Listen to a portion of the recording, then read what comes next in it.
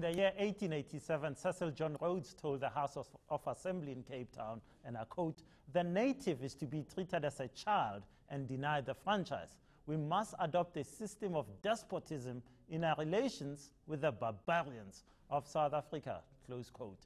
He also gave land for the building of the University of Cape Town.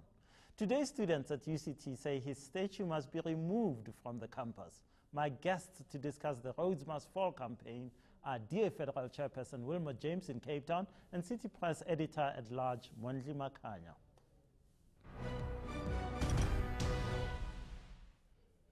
Wilmot James, let me start with you. It's clear from the history books, and you've read many of them. Um, Cecil John Rhodes was racist, he was a white supremacist, he was a colonialist, he was everything that the new South Africa fought and won against. And yet you say the statue must not be removed. Why? Let's start by saying that it's very important to decide what one's political project is. And the political project, in my view, um, is to build a strong democracy and to build an inclusive nation. And in that respect, I side entirely with Nelson Mandela, and I was part of that project in the 90s, where you want to repurpose existing statues and make them part of a larger, forward looking vision in order to have a robust democracy and an inclusive nation. And so I think that it is quite important for the university to figure out, the university community to figure out what's the right thing to do.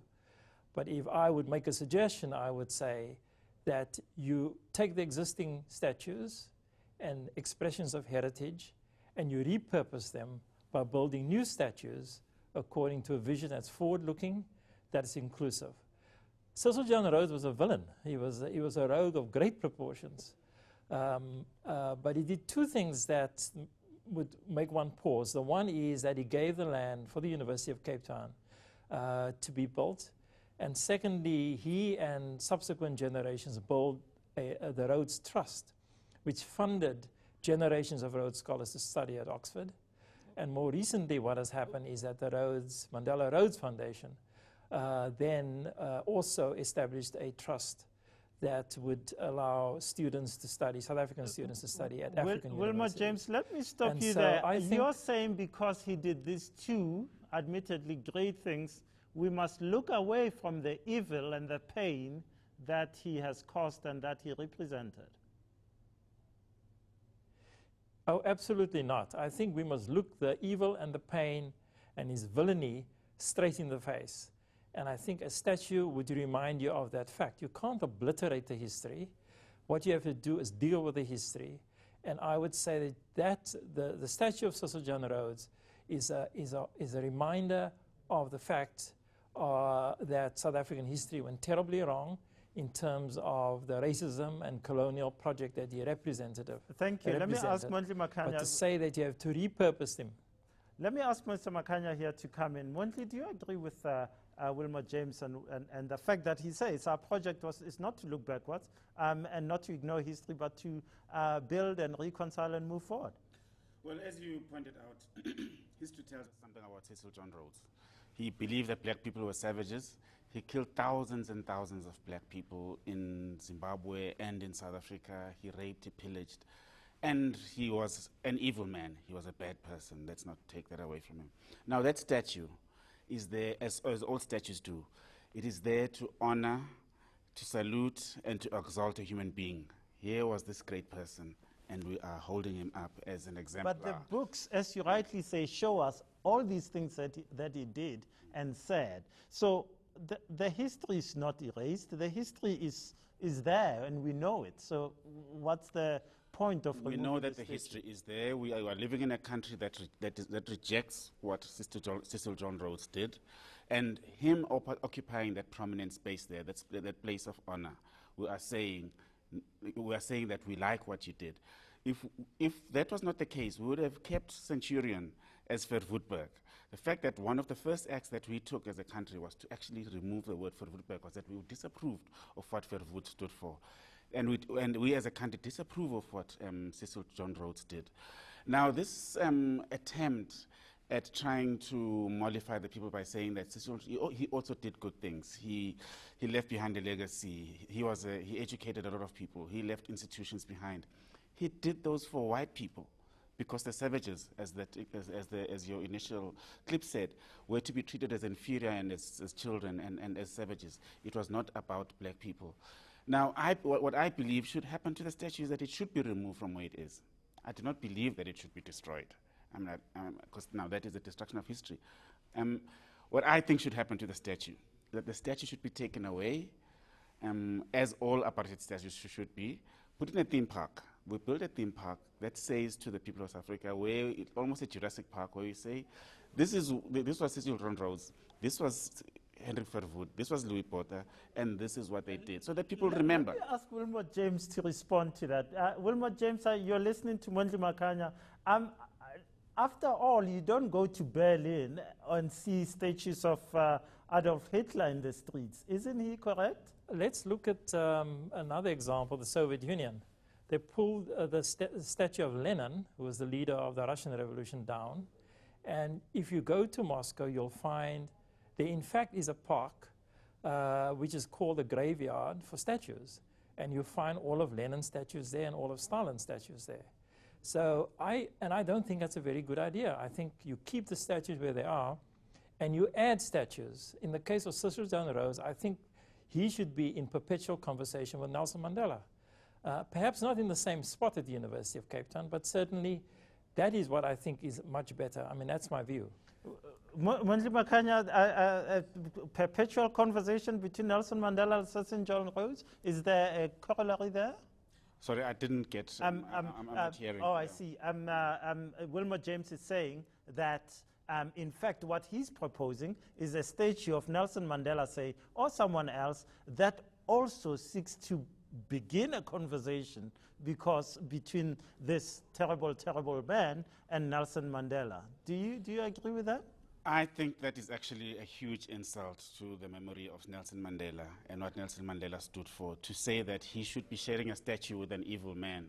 And I think that in any country in the world, that would, be, that would actually be, people would be out in the streets and frowning upon it. The fact that a senior member, a person who has actually held public office, can actually m- make such a, a horrendous statement to say, let's put Nelson Mandela next to, to, um, to Cecil John Rhodes is actually, I mean, like, I I find it No, quite but when despicable. we've done it, we've said, no, Yeah. don't bring down the Voortrekker mu- Uh, Museum. yeah. Um, we'll build Freedom Park. And we've, left we've left the Voortrekker Museum going.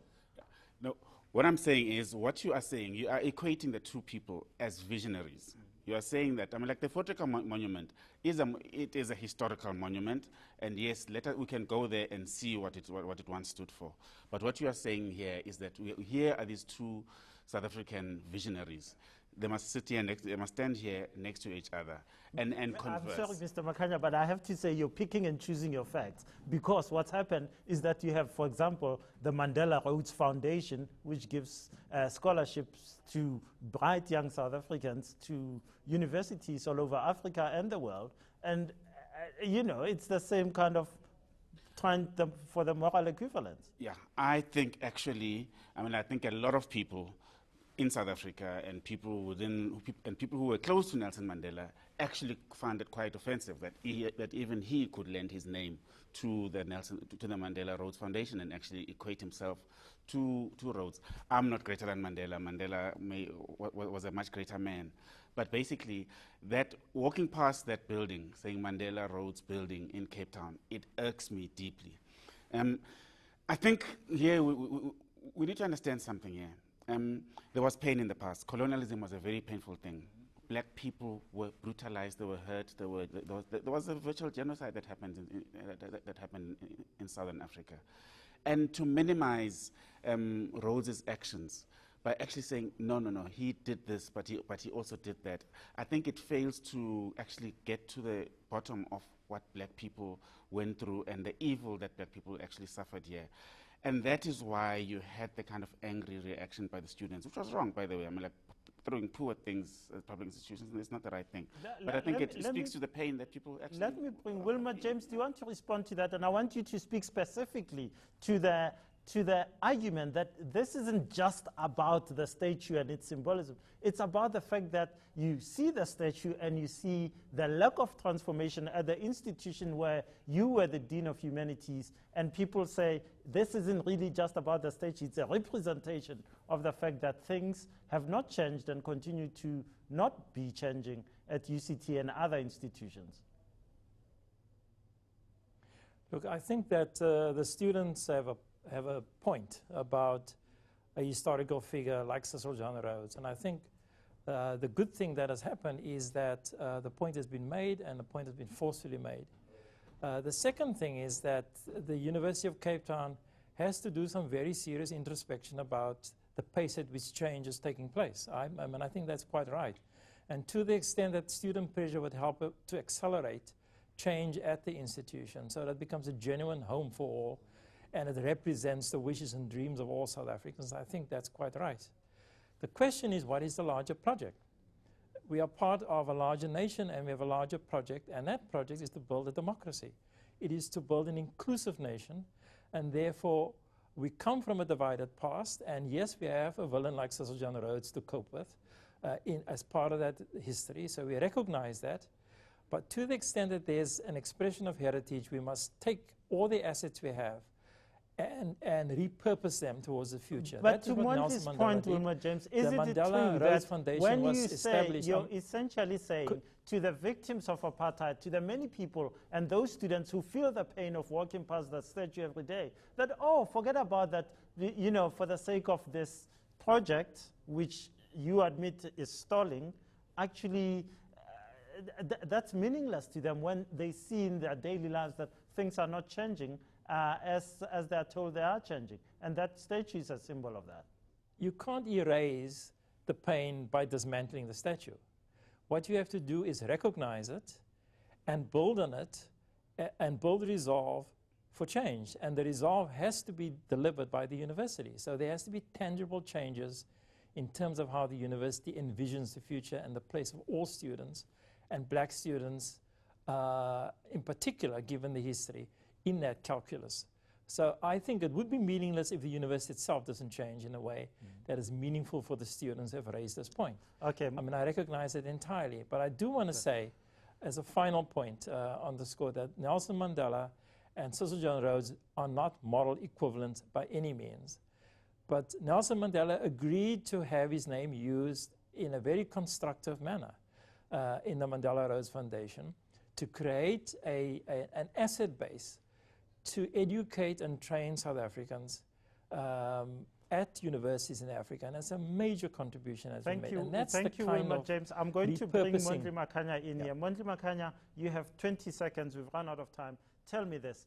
What is the future of race relations in South Africa given this, these upheavals that you see, for example, at UCT? Are we getting worse? Uh, is the project on track? Uh, tell me what we look like in I think years. I would say 21 years down the line, we are looking very bad. The gulf is growing. And I think the primary thing is exactly this that basically white people actually do not recognize the pain that black people went through in the past. They do, they do not recognize the change that needs to happen. They, no, they do not recognize that they, they are actually, they need to reach out, that forgiveness happened. But forgiveness has to actually come from something. There has to be a contribution from the former oppressors to say, look, we are going forward. But instead, what black people are feeling is continued racism and, and a refusal to accept that there has to be real transformation in the society. Mondli Makhanya, thanks so much for your time. Wilmot James in Cape Town, thanks so much for your time. I'm sorry we didn't have get a chance to give you a last uh, uh, uh, comment there. After the break, our winner and loser of the week. Stay with us.